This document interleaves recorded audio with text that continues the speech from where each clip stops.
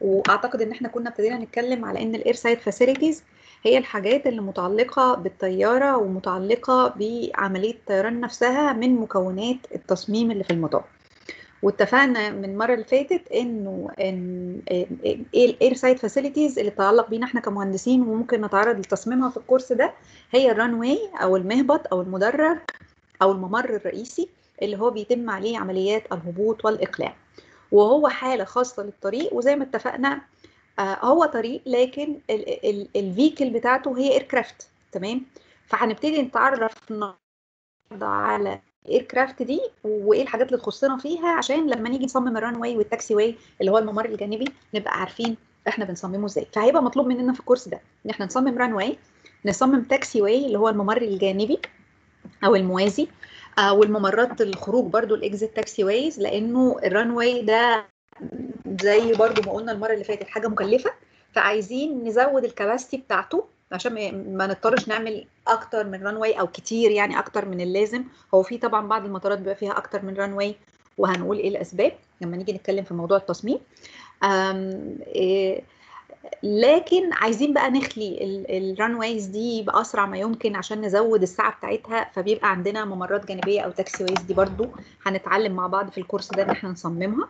في ال apron area اللي هي منطقة الانتظار للطيارات آآ آآ عند آآ في ال holding apron في بداية ال runway ودي بتبقى منطقة انتظار للطيارات عشان خاطر تدخل ورا بعضها كده تعمل عمليات الإقلاع اللي هي هتعمل عمليات إقلاع وتبقى ممكن تكون منتظرة انشغال ال runway لو في طيارات جاية من فوق وبتعمل عملية الهبوط. في البوابات اللي هي المناطق بتاعة انتظار الطيارات عشان يعملوا ال boarding وال unboarding اللي هو ناس تركب أو تنزل من الطيارة. فكل الحاجات دي هي الحاجات المتعلقه بال air side facilities واللي إحنا يعني يختص بيها الكورس دوت.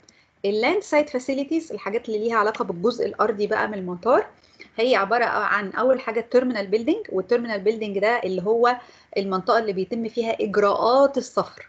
ماشي؟ آه فطبعا بيبقى فيها الجوازات والهجرة وتلقي الأمتعة ومقرات شركات الطيران و facilities بقى كتيرة ليها علاقة بال passenger movement إن يكون عندنا الراكب لما بيدخل بيدخل ومعاه شنطه ماشي؟ وبيبتدي يسلم الشنط دي لمكان يعملوا فيه baggage handling ماشي؟ وهو يبدأ يتحرك في المطار براحته ده لو هيسافر. ولو راجع بينزل من الطيارة برده وبيبتدي يستلم الشنط بتاعته تمام؟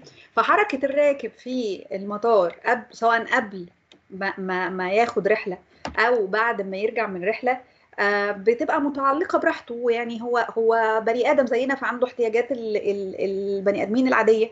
آه عايز أكل لو جعان عايز شرب لو عطشان عايز مكان يصلي فيه عايز حمام عايز صيدلية لو تعبان الحاجات دي كلها بتبقى موجودة. عايز اتصالات عشان يرتب لرحلته وسفره وكلام من دوت. فالحاجات دي كلها المفروض بتبقى موجودة في ال terminal building اللي هو موجود فيه. طيب بس كده هو البني آدم ده برضو عشان يروح ال terminal building ما هو بيروح عن طريق مواصلات.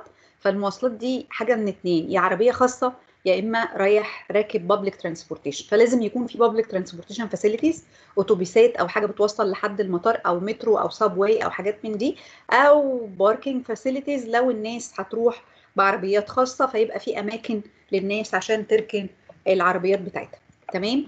فدي ال land side facilities طيب إحنا هنبتدي الأول قلنا هنبتدي بالطيارة لأن دي ال vehicle بتاعتنا. خلاص؟ ف... فهنبدأ بأول حاجة ليه الطيارات مهمة ولازم إحنا كمهندسين مدني ندرس ال features بتاعتها. يعني إحنا ليه مهتمين قوي بموضوع الطيارات ده؟ المفروض يكون الطيارين ومهندسين ميكانيكا الطيران هم اللي مهتمين بالموضوع ده أكتر مننا. هم مهتمين في اللي يخصهم وإحنا لازم نهتم في الجزء اللي يهمنا إحنا ك designers الطيارات الحقيقة آآ آآ إحنا من زمان وإحنا من أول ما دخلنا سنة أولى وإحنا قعدوا يقولوا لنا اي حاجة عشان نصممها ليها شرطين. حد فاكر الشرطين؟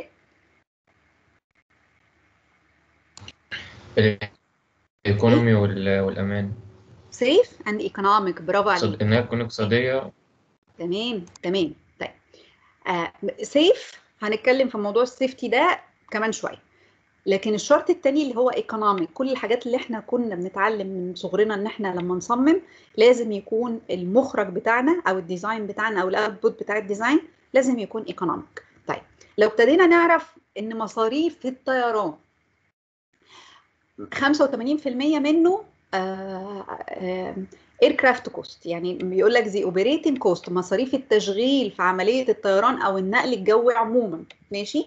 قال لك uh, uh, of aircraft contained about 85% of the total operating cost. مصاريف النقل الجوي بالكامل of the entire air, uh, air transport system. قال لك الطيارات وتشغيل الطيارات وتكلفة الطيارات بتاخد 85% من التكلفة. تمام؟ المطارات بتتكلف 10% فقط. ماشي؟ والباقي ال 5% الباقيين بيبقوا حاجة اسمها navigation charges الدول بقى بتبتدي تدي فلوس كده لبعضها عشان خاطر طبعا طبعا ليه دول؟ لأنه ال air transport system ده business كبير جدا. ما بيمتلكوش أشخاص عادة يعني. بيمتلكوا طبعا لما يكون business كبير جدا وبيتكلف مليارات فالأشخاص ما يقدروش يمتلكوه فبتمتلكه الدول. عشان كده تلاقي معظم شركات الطيران يقول لك إيه؟ اير EgyptAir مش كده؟ مش شركة الطيران بتاعتنا اسمها EgyptAir الرئيسية يعني.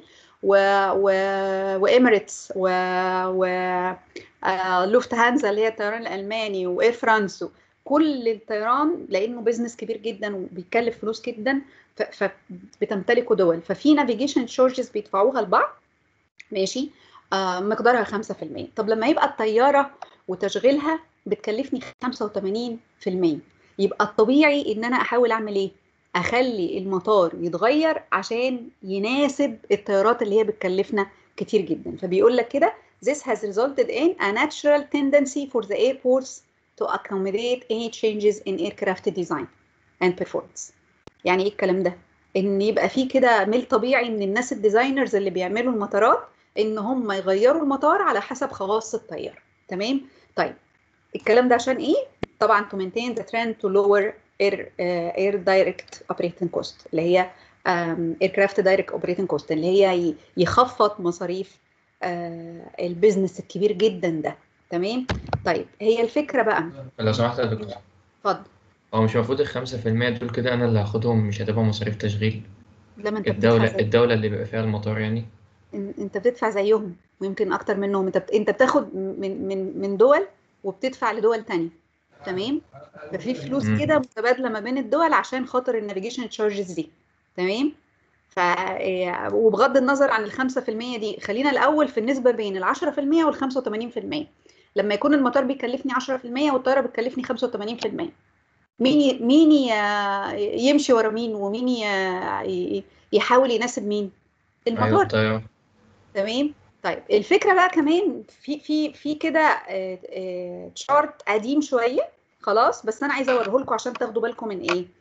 ال chart ده المحور الأفقي فيه قال لك year of service entry من أول سنة 1910 من أول ما بدأ الايه ال- ال- ال- الطيران المدني يعني يأخذ آه، آه، آه، يبتدي يبقى available للناس تمام؟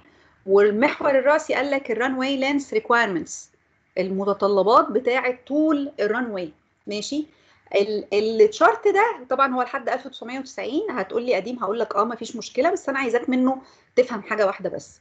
خلي بالك كده ما بين العلاقة ما بين طول ال runway المطلوب للمطار عشان خاطر آه، الطيارات تعرف تعمل عمليات هبوط والإقلاع منه وما بين آه، السنين ما بين التطور خلال السنين. بص كده في البداية خالص سنة 1910 كان الرقم قد إيه؟ وبدأ لما وصلنا مثلا سنة 1990 بقى عامل إزاي؟ ماشي؟ أخدين بالكم من الترند إن الترند في البداية كان exponential حد فاهم العلاقة ال exponential عاملة إزاي؟ ألو؟ هو ما فيش ماوس يا دكتور؟ أفندم؟ ماوس. ما فيش ماوس؟ هشاور لك أهو. يا ابني. بص يا ابني. من أول هنا 1910 لحد بص كده لحد هنا أهو اللي هو 1955 مثلا. شايفين العلاقة عاملة إزاي؟ علاقة طردية. كأن مش بس طردية مش بس طردية طردية و exponential يعني إيه exponential حد عارف العلاقة ال exponential في الرياضة اللي هي إيه؟ curve شوية كده. اي اس اي اس x لا curve وطالع لفوق curve وبيزيد قوي. آه علاقة أسية بالظبط كده ماشي؟ فيعني لما يكون آه، آه، كل ما السنين تعدي كل ما طول ال runway يزيد زيادة كبيرة جدا تمام؟ وبعدين بدأت بعد كده العلاقة تقلب شوية اهي من بعد سنة 1970 1980 لأن هم أدركوا إن آه أنا بطور في محرك محركات الطيارات بس أنا عايز طول runway طويل. طب آم، طبعا طبعا الحاجة هي أم الاختراع أنت أكيد عارف كده. آه فالأول كان كل همهم إن هم يعرفوا يرفعوا الطيارات عن الأرض. خلاص؟ وده كان هم الناس في البداية وده شيء طبيعي لأنه كان بالنسبة لهم معجزة إن هم يقدروا يخلوا آه، الطياره تطير أصلا. تمام؟ فخلاص أنا محتاج لها طول runway قد إيه هرصف وهجهز ال runway ده. لما بدأت ال requirements تزيد قوي في طول ال runway فابتدوا يحاولوا يطوروا محركات الطيران بحيث إن إيه؟ إن ما يحتاجش طول ال runway الطويل قوي ده. فابتدى بعد كده الطول يقل شوية لو خدتوا بالكم بدايه من 1980 تمام؟ بس ما زالت القيمة اللي موجودة هنا سنة 1980 مقارنة بالبدايات إحنا بنتكلم في اطوال runway 12000 feet ف 12000 feet دي حد عارف يعني قد إيه؟ كم متر؟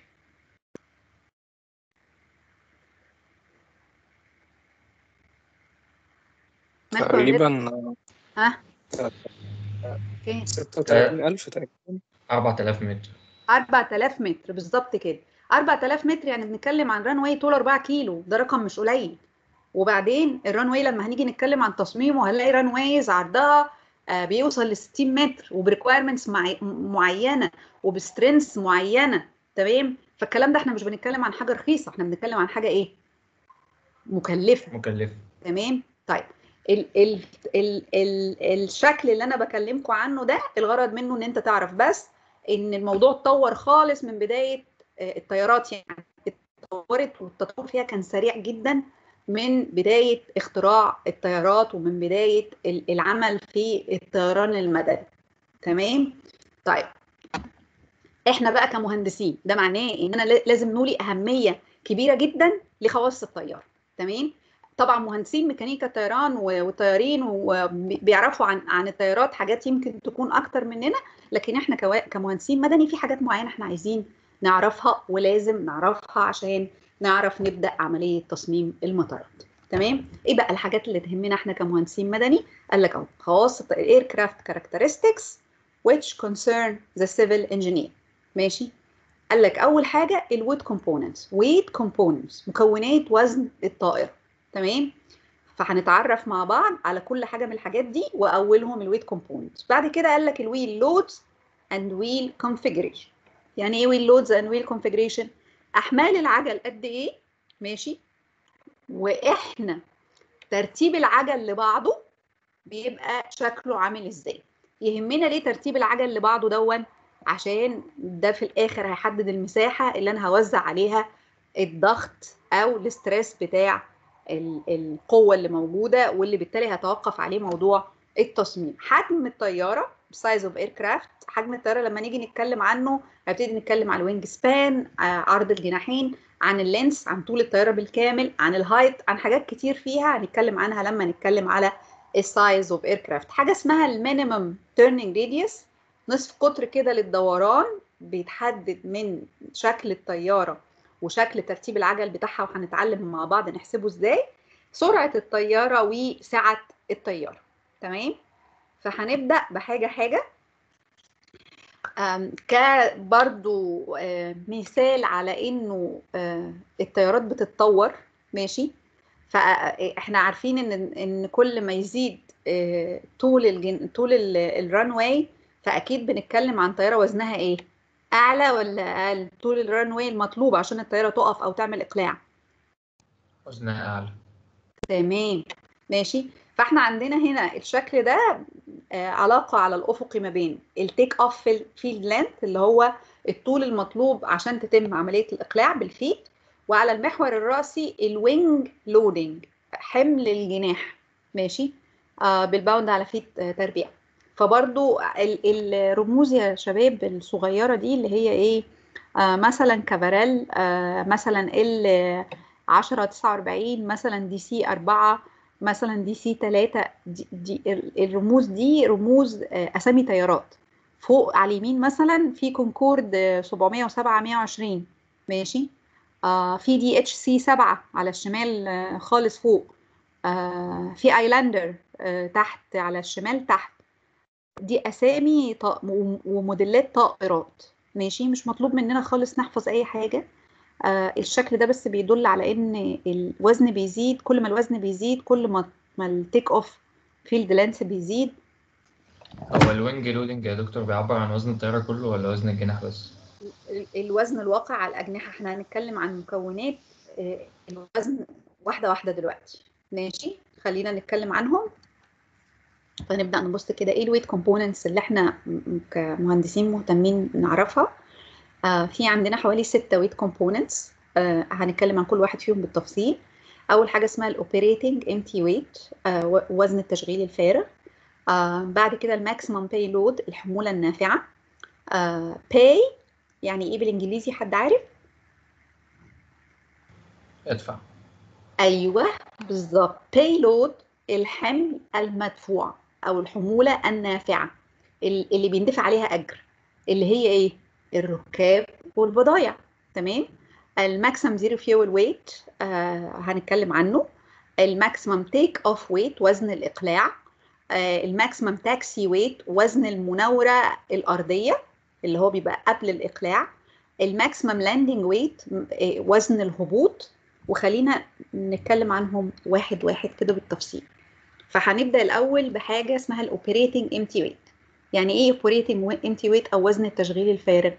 قال لك ده وزن ال structure جسم الطيارة ال power plant محركات القوة اللي فيها ال furnishing systems uh, and the other item of equipment that are اسمعوا الكلمة دي an integral part of a particular aircraft. integral يعني جزء متكامل لا يتجزأ. من أي طيارة ماشي. Plus the operator's items. يعني إلى جانب ده وزن التشغيل الفارغ. قال لك إيه؟ آه جسم الطيارة ال power plants المحركات ال furnishing الكراسي اللي جوه الطيارة آه ال systems وال other items of equipment أي equipment جوه الطياره آه بتعتبر جزء لا يتجزأ منها plus كمان ال operator's items يعني إيه operator's items مين ال operator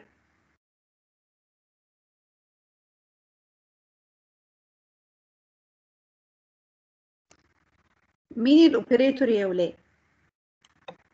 اللي هي غرفة القيادة والمحركات وكده. ال operator آه ده اسم فاعل صح؟ الطيارين وال- أيوه. والمضيفات. بالظبط. ده operator في اللغة الإنجليزية ده اسم فاعل ماشي؟ اللي بي operate اللي بيشغل الطيار. يبقى مين اللي بيشغل الطيارة؟ الطيارين ومش الطيارين بس الطيارين وال cabin crew يعني إيه cabin crew الطيارين المضيفين اللي موجود معاهم بيسموهم cabin crew دول المساعدين بتوعهم تمام؟ فقال لك the operators items are the flight and cabin crew ماشي؟ the flight and cabin crew كل طقم الطيارة ماشي؟ and their baggage والشنط بتاعتهم و unusable fuel ال- ال- الوقود الغير مستخدم في الرحلة وال engine oil الزيوت المحركات وال emergency equipments ال emergency equipments الحاجات ال vest والحاجات اللي بتستخدم في حالة الطوارئ. ال toilet chemical and fluids الحاجات اللي موجودة في في الحمامات اللي هي بتاعة ال- النظافة ومش عارف ال- الصابون ومش عارف إيه الحاجات اللي بتبقى في الحمام. ال galley structure ال catering equipment عارفين البتاع اللي بيجي في التلفزيون والناس تقعد تعدي كده وتقول لك chicken ولا beef آه تمام. catering catering اللي هي آه، آه، آه، إن إن حد يقدم أكل المجموعة. ده اسمه catering خدمة خدمة الأكل لمجموعات كبيرة. خلاص؟ ال catering equipment ال equipment اللي بيستخدموها في الكيترينج الباسنجر سيتس واللايف فيست والدوكيومنتس هم بيبقى معاهم documents بيسجلوا فيها الملاحظات العامة على الرحلة بتاعتهم كلها. فكل الحاجات دي تعتبر من ضمن ال operating empty weight يبقى وزن الطيارة ب- بكل معدات التشغيل والأشخاص اللازمين لتشغيل الطيارة م- بس من غير آه، آه، وقود. الوقود بس اللي موجود unusable fuel اللي هو مش بتاع الرحلة احتياطي مثلا. تمام؟ فده اسمه ال operating empty weight ماشي؟ بعد كده عندنا حاجة اسمها ال maximum payload قال لك ومن اسمها أصلا بيتضح هي إيه. قال لك weight of everything the plane carries uh, whether this load was people or luggage or goods or all. uh, أي حاجة بقى الطيارة هتشيلها وبيندفع عليها فلوس يعني. آه، وسواء كان بني آدمين أو آه، أو luggage شنط أو بضايع أو أي حاجة من الثلاثه دول. كل دول مع بعض كده. ماشي. بعد كده قال لك ال maximum zero fuel weight. zero fuel. يعني إيه zero fuel؟ الكلمة دي بتديك إيحاء بإيه؟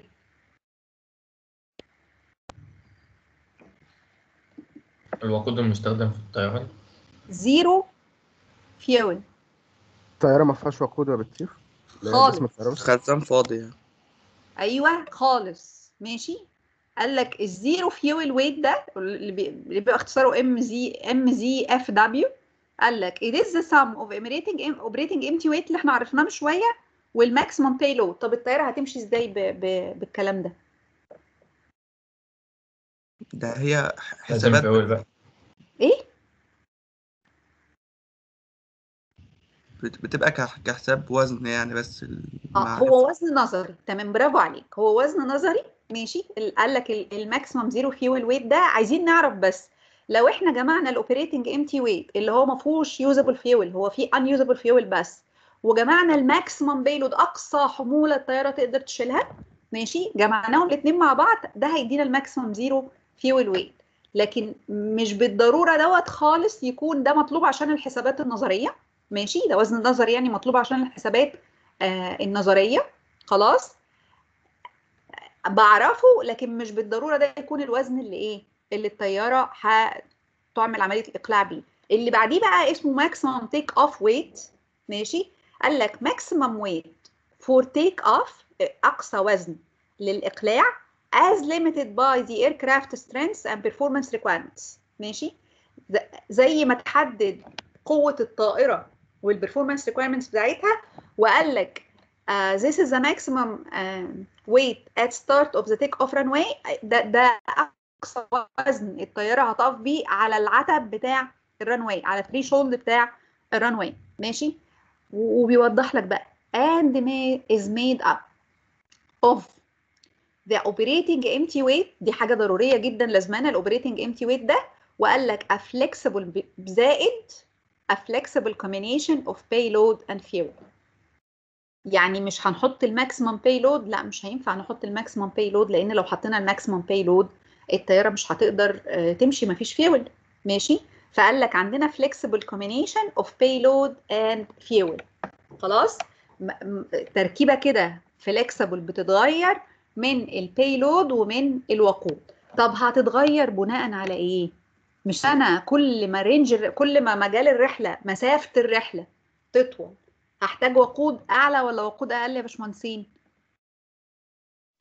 أعلى طبعا.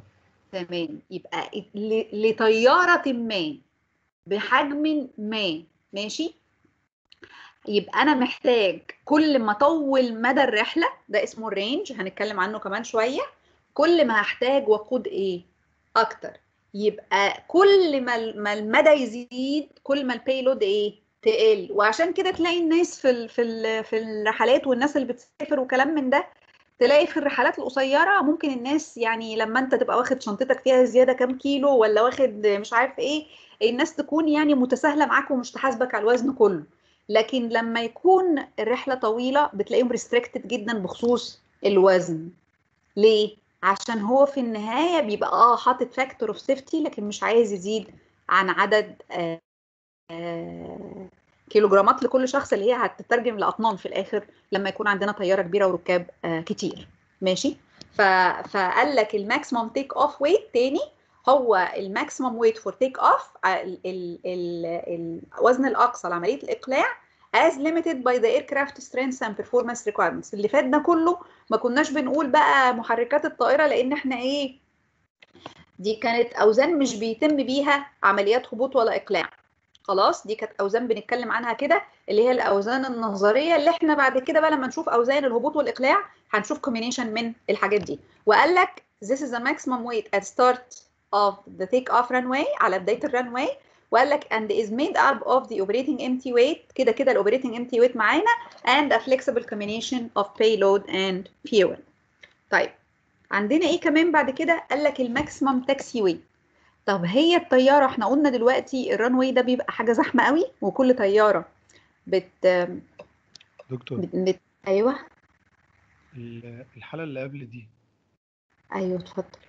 آه، إحنا كنا بناخد مثلا الأوزان بتاعة ال life jacket والحاجات دي معانا ليه؟ وهي بالنسبة لوزن الطيارة نفسه حاجة ما لا تذكر يعني. ما فيش أي حاجة لا تذكر يا باشمهندس. ال- الحاجات دي في طيارات ال- ال- الايرباص عدد الركاب فيها بيوصلوا ل 300 و400 راكب.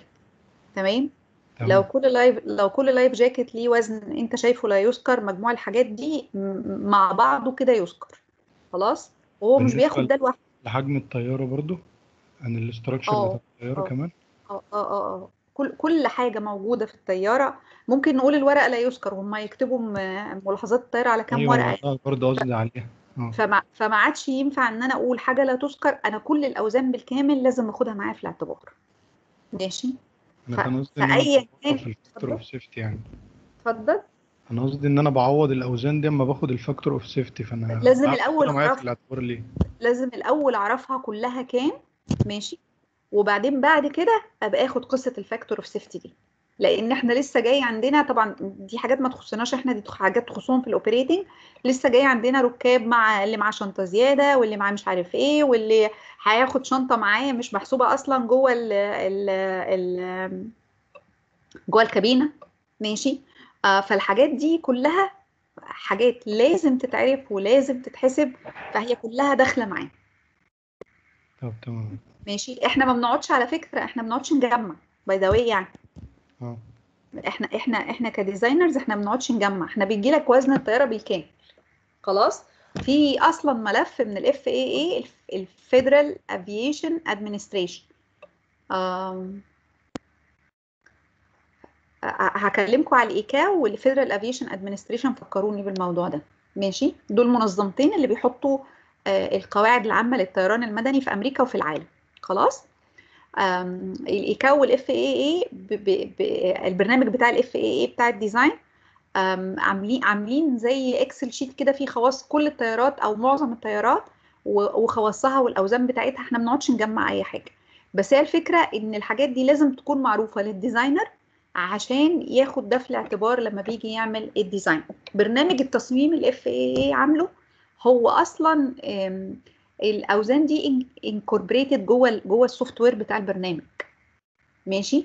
إحنا كل اللي مطلوب مننا نعرف هي هي الأوزان اللي البرنامج بيستخدمها. تمام؟ لأنه التصميم ساعة عملية الإقلاع غير التصميم ساعة عملية الهبوط وعشان كده هتلاقينا حالا بنتكلم عن ال maximum take off weight وبعدين بنتكلم عن ال maximum taxi weight وبعدين هنتكلم كمان عن ال landing weight لأن الطيارة وهي نازلة أصلا لما بتيجي تخ... ت... ت... ت... ت... ت...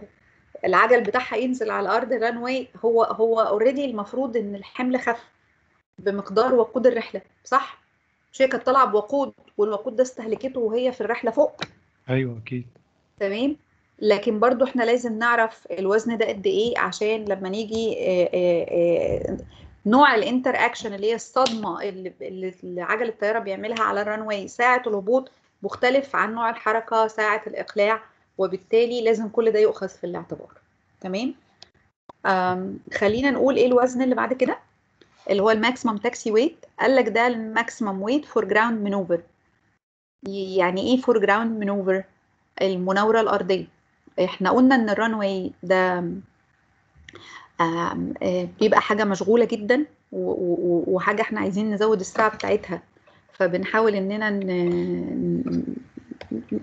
نخليه بأسرع ما يمكن عشان يبقى مناسب لإنه يعمل عمليات هبوط وإقلاع آه، نقدر نزودها على قد ما نقدر في الساعة بحيث إن هي تزود الكباستي بتاعت الران واي فبيحصل إن الطيارات بتطلع من مكانها ماشي. وتبتدي تنتظر على بداية ال runway طب هو فين مكانها؟ يعني هي بتطلع منين؟ الأول الطيارة خالص طبعا بتمر بعمليات الصيانة وال- وال check up ويتأكدوا إن هي سليمة والوقود موجود فيها والمحركات سليمة وكل حاجة في الهانجر الأساسي بتاع الطيارات اللي هي حظيرة الطائرات. بعد كده بتطلع تروح على ال gate البوابة اللي الناس بتروح تركب منها ويبتدوا يعملوا عملية الكارجو وتعبئة ال luggage أو أو الأمتعة فيها. وتفضل واقفة في البوابة لحد ما تكتمل عملية ال boarding وبعدين تطلع الطياره من البوابة تبتدي تمشي لحد ما توصل لبداية ال runway طب هي بتروح تمشي على طول على أول ال runway ولا بتروح لو لقت بداية ال runway مشغولة بتبتدي إن هي تقعد تلف شوية لحد ما إيه ما تقدر تيجي تقف في ال holding apron وبعدين بعد كده تعمل عملية الإقلاع. طب شوية اللف اللي هي بتعملهم دول بيسموا ال ground maneuver أو المناورة الأرضية. تمام؟ فبيقول لك ده ال maximum weight for ground maneuver as limited by the aircraft strength requirement. وقال لك كمان it is slightly higher than the maximum take off weight. قال لك هي slightly يعني حبة بسيطة قوي أعلى من ال maximum take off weight اللي إحنا لسه معرفينه شوية. قال لك it includes weight of run up and taxi fuel. اللي هو إيه إن هي تطلع من الهانجر تروح لحد البوابة. وبعدين تعمل taxiing أو maneuver المناورة الأرضية تفضل تتمشى كده لحد بداية ال runway الكمية دي من الوقود بتنقص قبل الرحلة ما إيه؟ ما تطلع. خلاص؟ وقال لك it is also called maximum ramp weight MRW ماشي؟ طب لو جينا نبص هنا هو الوقود اللي هي هتستهلكه في حبة المشي جوه ال runway ماشي؟ آه م- م- مقارنة بوقود الرحلة. شيء يذكر لا. طب اشمعنى بناخده وناخد الوزن ده والوزن ده معانا؟ زي ما إحنا ما خدنا الوزن بتاع ال life jacket برافو عليك. لأن مفيش حاجة ينفع ينفع نهملها. أي وزن مهما كان في وجهة نظرنا شايفينه إن هو بسيط لازم ناخده معانا في الاعتبار. تمام؟ آخر وزن من مكونات الأوزان بتاعة الطيارة قال لك ال maximum landing weight ال MLW اللي هو إيه بقى ال maximum landing weight؟ قال لك maximum weight for landing and is less. طبعا آه، أقصى وزن الطيارة تقدر تعمل هبوط بيه. and it is less than take off weight أقل من وزن الإقلاع by the amount of the fuel burned during a flight. بكمية الوقود اللي تم حرقها أو استهلاكها أثناء الرحلة. ماشي؟ um, طيب weight components of aircraft دي مش المفروض إن هي بتتغير من طيارة لطيارة؟ أكيد. آه. برافو عليكم. يعني المفروض القيم دي بتتغير من ط- طائرة لأخرى. تمام؟ طب إحنا ال design بتاعنا بيبقى على أي طيارة؟ الطيارة المدنية إيه؟ الطيارة المدنية. ال ال إيه؟ مدنية. مدنية. مدنية. ما كل الت... إحنا اتفقنا إن إحنا مش هنصمم مطارات عسكرية وبالتالي كل الطيارات اللي بنتكلم عليها طيارات مدنية. أنهي طيارة؟ يعني المطار لو بتستخدمه مجموعة من الطيارات. أنهي واحدة فيهم اللي إحنا هنعمل ال design عليها؟ أكيد أكبر. طيارة. أكبر أكبر أكبر طيارة. تمام؟ أوكي. أكبر طيارة. ماشي؟ طب ما خلاص ما إحنا يعني نعرف أكبر طيارة وخلاص وملناش دعوة بالباقيين. ها؟ إيه رأيكم في الكلام ده؟ لا ما هو ممكن يكون نبقى نوصل لل economy برضه. في ال weight components في ال weight components لما بنيجي نعمل structure design إحنا هنعمل فعلا كده. ماشي؟ هنصمم على أكبر طيارة. خلاص؟ لكن في التصميم الهندسي أنتوا عارفين بتالي إن أنا في الترم الأولاني في الطرق فهمتكم الفرق كويس ما بين التصميم الهندسي والتصميم الإنشائي صح؟ أيوه تمام. حد فاكر إيه الفرق؟ زي مهندس العمارة ومهندس المدني كده مهندس إنشائي. برافو عليك. ده. التصميم التصميم الهندسي بيهتم بالأبعاد. ماشي؟ الأبعاد يعني نتكلم عن إيه؟ عن طول ال runway عرض ال runway الميول الجانبية الميول الطولية صح؟ ماشي؟ بالنفس نفس الشيء بالنسبة لل taxiway آه أنصاف أقطار الدوران لما الطيارة هتبتدي تخرج من آه ال runway عشان تدخل على ال taxiway الطول المطلوب إن الطيارة تمشيه لحد ما نعمل لها exit taxiway ما إحنا هنحط مجموعة من ال exit taxiways فلازم يبقى في exit قريب للطيارة الصغيرة. و exit بعيد للطيارة الكبيرة تمام؟ طب ما عملناش هنوفر ونعمل exit واحد بعيد. طب ما إحنا كده هنشغل ال runway ونمشي الطيارة الصغيرة بدون داعي على ال runway لحد آخره. ماشي؟ فلازم هناخد في التصميم الهندسي هناخد كل الطيارات معاه في التصميم الإنشائي الشغل هيبقى على طبعا أكبر طيارة بتستخدم المطار. تمام؟ طيب. لو سمحت يا دكتور هو إيه الفرق ما بين ال taxi ال taxiway وال apron way ال apron way ما في ما فيش حاجة اسمها apron way اس- اسمه holding apron دي منطقة ما بتبقاش طريق طويل زي ال taxiway. دي بتبقى منطقة كده يعني زي منطقة تخزين. الطيارات بتستنى بعض لحد على بداية في نوعين من ال apron في حاجة اسمها holding apron بيبقى على أول ال runway منطقة فاضية كده على بداية جنب بداية ال runway ماشي. آه عشان الطيارات تدخل منها تاخد دورها عشان تعمل عملية الاقلاع الإقلاع. وفي apron كبير ما بيبقاش قريب جدا من ال runway كده اللي هو منطقة صيانة ال ال الطائرات. اللي هو الهناجر يعني؟ زي الهانجر. ماشي؟ الهانجر حظيره تمام. الطيارات اللي هي تتخزن بقى وتقعد فيها. ال apron منطقة صيانة منطقة عمل طول الوقت. ماشي؟ الجدول اللي قدامنا فيه مجموعة من الطائرات والأوزان بتاعتها. اتفضل. هو دلوقتي إحنا كنا بنقول إن يعني الطيارة لو جت تخش على على ال runway لقت إن هو في مثلا طيارات بتعمل اللي هي عملية المناورة وبعد كده بتروح تاني عند ال runway. طب دلوقتي طب ما في holding apron ليه هي مش بتقف تستنى فيه بدل ما تعمل موضوع المناورة ده؟ يا أولادي الأعزاء أنتوا ما عندكوش صبر. ال holding apron لما نيجي إن شاء الله نشتغل عليه ال holding apron ده منطقة بتتصمم عشان تستحمل آه، انتظار. يا إما طيارتين يا إما أربعة. طب لو أنا عندي طيارات كتيرة جدا ومستنية بعضها مش هينفع كلهم يقفوا في ال holding apron عشان يستنوا مكان. تمام؟ ال holding apron ده بيبقى منطقة بتنتج من إن إيه؟ بصوا كده أنا عندي runway وعندي taxiway مقابل ليه. خلاص؟ فدول طريقين إيه؟ متوازيين والمفروض قريبين من بعض. بمسافات معينة طبعا هناخد الكلام ده كله لما نيجي نصمم الكلام ده. تمام؟ فالمنطقة اللي ما بين الطريقين دول يعني عارف ال U-turn اللي بتلف من من ده لده مثلا؟ هو مش U-turn ولا حاجة. المنطقة دي بنرصفها كويس ون ون واسمها ال holding apron وبنصممها بمواصفات معينة طبعا ومعايير معينة. فهي بتكفي من طيارتين لأربع طيارات. بعد ال holding aprons تحط فيها طيارتين بعد ال holding aprons تحط فيها أربع طيارات. ماشي؟ فمش هتاخد لو أنا عندي المطار كبير وعندنا 10 15 20 طيارة مستنيين بعض مش هينفعوا كلهم يكونوا موجودين على بداية ال runway تمام كده؟ جاوبت على سؤالك؟ تمام. ال- الجدول اللي قدامنا بي بي بي بيقول إيه؟ الجدول اللي قدامنا بيحاول يقول لنا كده ال- الأوزان بتاع بتاع بعض أنواع الطائرات مش كل أنواع الطائرات والجداول مش للحفظ يا شباب. ماشي؟ الجداول مش للحفظ عموما. في في جدول معين أنا هقول لكم عليه لازم تحفظوه زي اسمكم لأن ده زي ال classification بتاع الطائر خلاص؟ طيب. إنما الجدول ده اللي قدامنا حالا ده مش للحفظ خالص نهائي ده مجرد جدول للاطلاع. تمام؟ بنبص فيه على بعض أنواع الطائرات. بيقول لنا أنا عندي ال aircraft type مثلا ال 747 400 دي بوينج آه، وقال لي المكونات الأوزان بقى بال بال بالألف pound. آه، قال لك ال take off مش عارف آه، 800 ال landing 574 ألف طبعا. ال operating empty weight 391 ال- ال- ال- field length لل take off مطلوب آه، 11000 feet ال field length لل landing مطلوب 7000 feet. ال speed ال cruise speed آه، هنعرفها يعني إيه cruise speed دلوقتي؟ ب 495 knots 495 عقدة. ال- range وال payload كنا اتكلمنا من شوية صغيرين على حاجة اسمها ال range وال payload وهنتكلم عنها تاني دلوقتي بالتفصيل. ال range قلنا المدى ماشي اللي هو طول الرحلة. وال payload الحموله النافعة واتفقنا إن نفس الطيار بنفس المحركات كل ما ال range زاد ماشي؟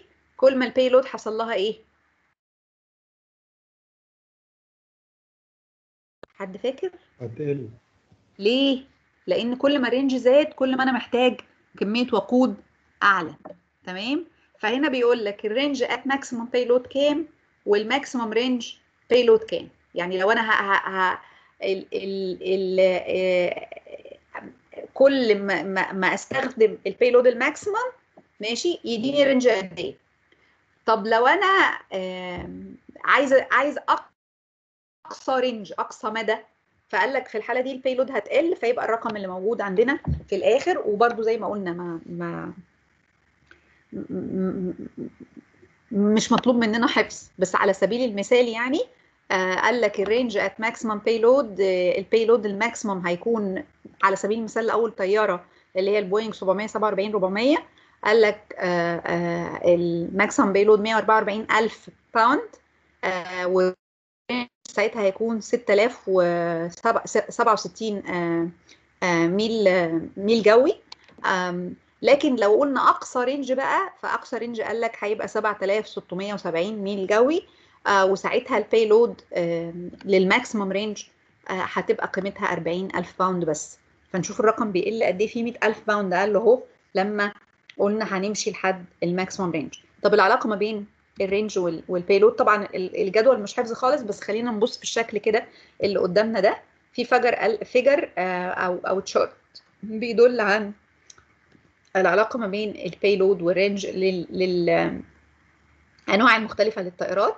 فقال لك تاني هنعرف ال range اتكلمنا عنه أكتر من مرة ونعرفه تاني قال لك ال range is the distance an aircraft can fly without stopping for taking fuel.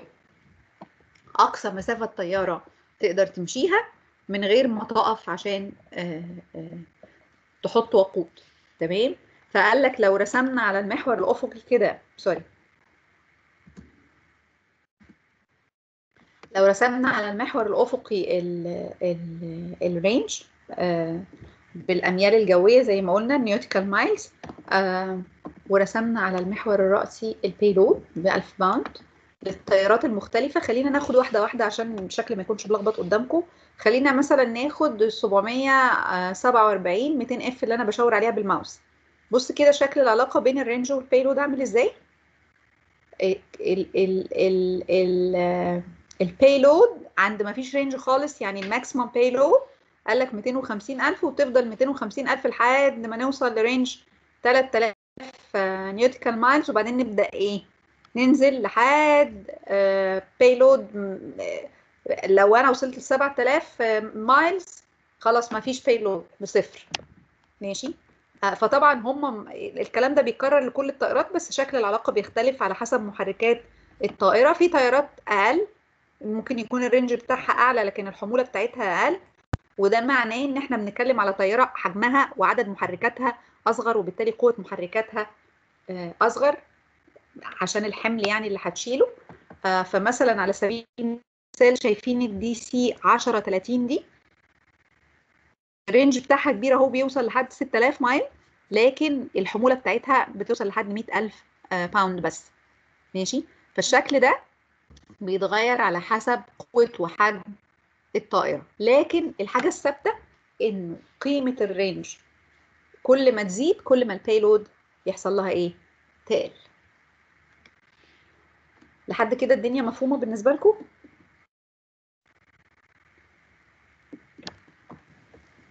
تمام يا دكتور. تمام يا طيب. في حاجة في حاجة بقى عايزة أكلمكم عليها كمان اللي هي ال wheel configuration اللي هو ترتيب ال- ال- العجل بتاع الطيارات بالنسبة لبعضه آه وتفتكروا ده بيهمنا ليه؟ يعني لما يكون حمل تقيل وعجلة واحدة أحسن ولا لما يكون حمل نفس الحمل وعجلتين جنب بعض أو اتنين قدام واتنين ورا أو ست عجلات أحسن؟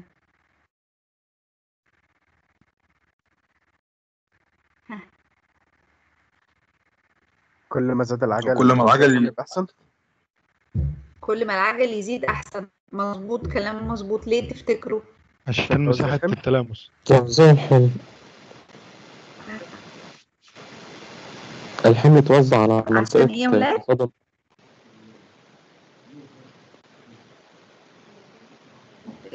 بزود المساحة فالإجهاد بيقل؟ بزود مساحة التلامس فالإجهاد على ال- برافو على الأسفلت برافو هيقل برافو برافو. برافو عليك.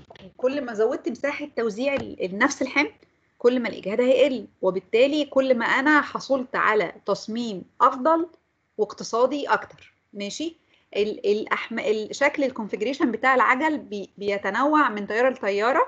لو بدينا بأبسط الأشكال فإحنا عندنا أول ماوس شايفينها. عندنا ال single wheel معلش الماوس بتاعتي بتعلق شوية. بسم الله. ال single wheel شايفينها؟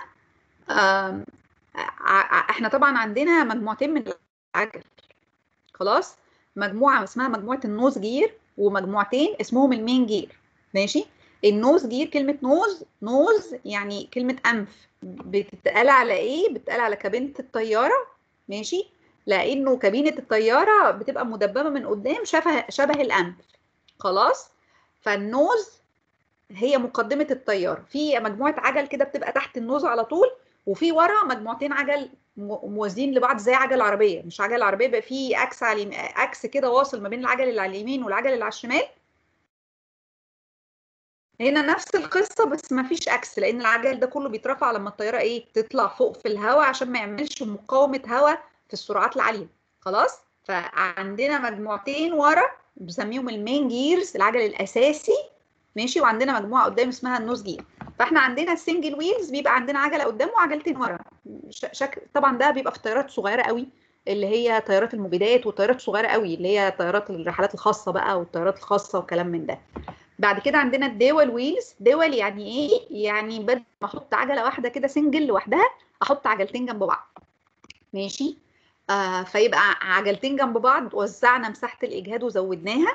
طب ال- الأحمال بدأت تزيد. برضو إحنا عايزين كل ما الأحمال تزيد كل ما بقى توزيع الإجهادات إحنا عايزين إجهاد قليل فكل ما بقى توزيع الإجهادات أحسن فيبقى عندنا دول ويلز وعندنا دول تاندم يعني إيه دول تاندم عجلتين جنب بعض قدام وعجلتين تانيين وراهم. ماشي؟ طب ممكن يكون عندنا توزيع أكتر من كده؟ آه قال لك عندنا ممكن يكون عندنا تي دي 2 دي 2 دي 2 اللي هو إيه؟ دبل دول تاندم يعني إيه؟ جه على المجموعتين الأساسيتين وقال لك إيه؟ أنا كنت هنا موزع على المجموعة الأساسية اللي في اليمين والمجموعة الأساسية اللي في الشمال بتوع المين جير كانوا أربع عجلات. عجلتين قدام وعجلتين ورا. هخليهم كل مجموعة منهم ثمان عجلات.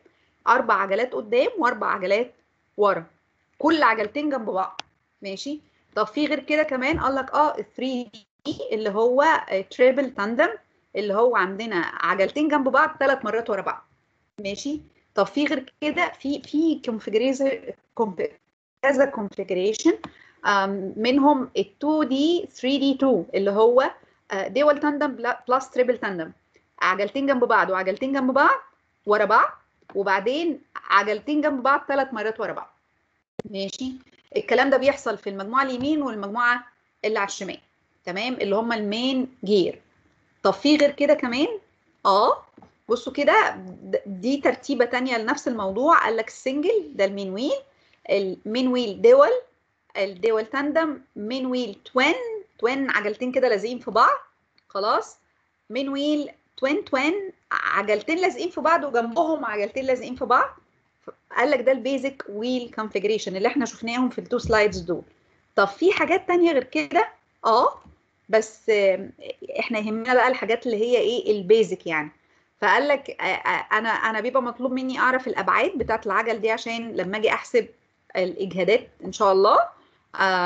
فيبقى لو أنا عندي عجلتين آه، آه، dual آه، ذكر لك أهو أشكال للطيارات وقال لك المسافة X في أنواع يعني للطيارات.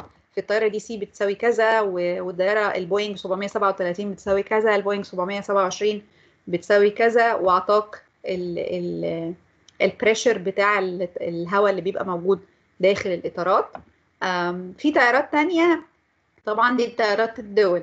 ال dual tandem قال لك في مسافة X اللي هي مسافة بين العجلتين اللي جنب بعض ومسافة Y ما بين العجلتين اللي قدام والعجلتين ال Y اللي ورا من ال center line لل center line طبعا.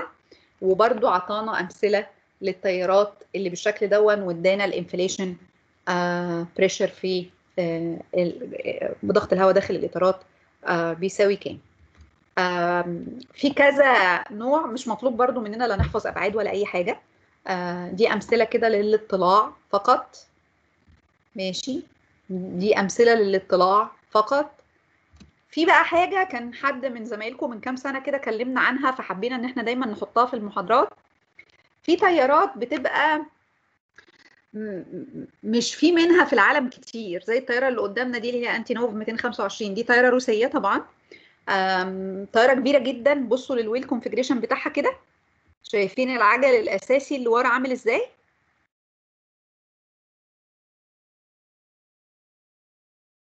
كم عجلة جنب بعض؟ ورا بعض سوري. تمانية. تمانية. برافو عليكم. ال ال العجل اللي مش بالشكل ده أو التيارات اللي بالشكل ده مش موجودة كتير. هما الحقيقة في منهم في العالم اتنين بس اللي شغالين. بيتنقل فيها حاجات تقيلة جدا. بيتنقل فيها معدات حربية وقطارات و... و... وحاجات آه، كبيرة جدا ماشي؟ إحنا ك designers مش مش دايما الحاجات دي بتبقى مطلوب مننا إن إحنا نعملها بس دي برضو عشان نشوفها شكلها إيه والمطارات اللي المفروض الطيارات اللي من النوع ده هتنزل فيها بتبقى متصممة على إن هي تتحمل ال stress الناتج عنها. طب إحنا بنحسب بقى أحمال العجل إزاي؟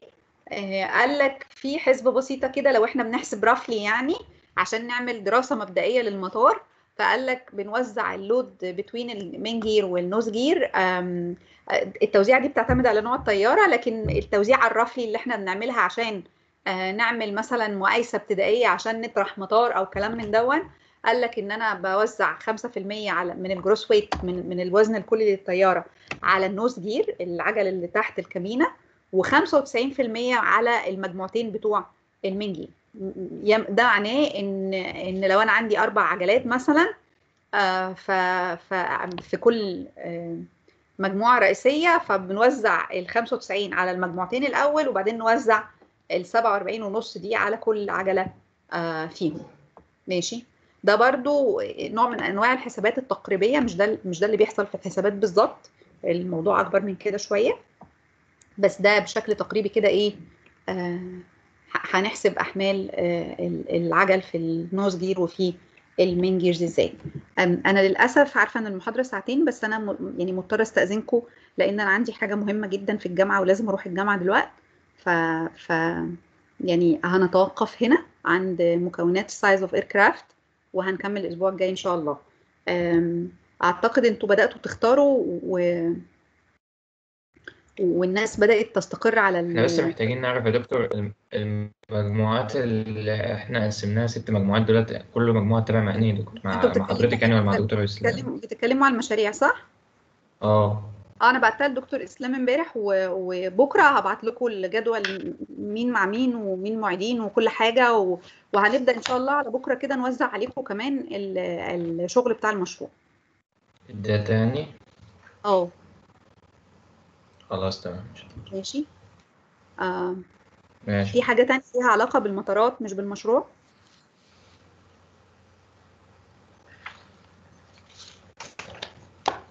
هي المواعيد في رمضان هتتغير صح؟ مواعيد المحاضرات. إحنا الأسبوع الجاي إن شاء الله في احتمال كبير جدا إن محاضرتنا الجاية تكون أول يوم رمضان بمشيئة الله. كل سنة ما وأنتم طيبين. حدش محدش كلمنا عليه وحضرتك تمام حضرتك هو ما أنا قالولناش آه، بصفة عامة يعني إن كل المواعيد هتتغير. هو ممكن كل دكتور مثلا بيغير آه، يعني براحته كده. كان السنة اللي فاتت حصل كده. طيب أنا ما أنا ما أعرفش أيام ما لسه كنا بننزل الكلية بس بيتهيألي في الأونلاين مش هيغيروه. طب طب إحنا هنشوف لأنه إحنا برضو إحنا إحنا مواعيد الجدول بتاع ال face to face إنه إحنا كل أربع أسابيع هنتقابل مرة أوكي؟ فده معناه إنه إنه يعني على 15 رمضان كده إحنا هنتقابل face to face فأنا assume إن الجدول هيبقى فيه تعديل. لو وصل لكم التعديل قبلي هل هل آه، أقدر آه، اتعشم إن حد فيكم يحاول يتواصل معايا ويقول لي المواعيد الجديدة؟ أكيد أكيد. الشرشابي طيب. موجود أهو. آه، هتواصل هتواصل مع حضرتك يا دكتور. الله يكرمك. آه هو برضو آه أنتوا كان في ليكوا مندوب للدفعة كلها. فأنا ما أعرفش هو معانا في المطارات ولا لأ فمش عارفة التواصل هيبقى عن طريق رقم عن طريق التليفون هو ولا هو معانا معانا معانا في المطارات بس هو بس مش موجود النهاردة بس. مش محمد مشكله السيد بس مش موجود. بس أقصد آم، آه، أنت هتقدر توصل لي بسهولة لكن أنا آه. كمان عشان أقدر أوصل لكم عادي إن أنا أتصل بيه لأن هو معانا في المطارات مش كده؟ آه هو معانا في المطارات محمد السيد. طب تمام طب تمام. و- وفي برضه كل يا سنة وأنتم دكتور طيبين يا ولاد الشرشابي دوت معانا في المطارات ومعانا في المشروع برضه هيبقى موجود. طيب طيب ممكن ت- ت- اللي أنا مش معايا رقمه أنا عارف اسمه محمد بس ما أعرفش محمد إيه. هو ده اللي معايا رقم. وفي طب خلاص. السيد طيب ممكن ممكن الناس دي تبعت لي أرقام تليفوناتها عشان اتاكد هي دي الأرقام اللي معايا ولا لأ؟ ماشي حاضر يا دكتور. خلي محمد سيد يبعت الرقم وهبعت لك رقم حضرتك أنا متشكرة جدا ليكم كل سنة وأنتم طيبين. حضرتك طيب يا دكتور. رمضان كريم ربنا ربنا يعينكم إن شاء الله على الصيام وعلى القيام وعلى المذاكرة. ربنا يوفقكم. عايزين حاجة؟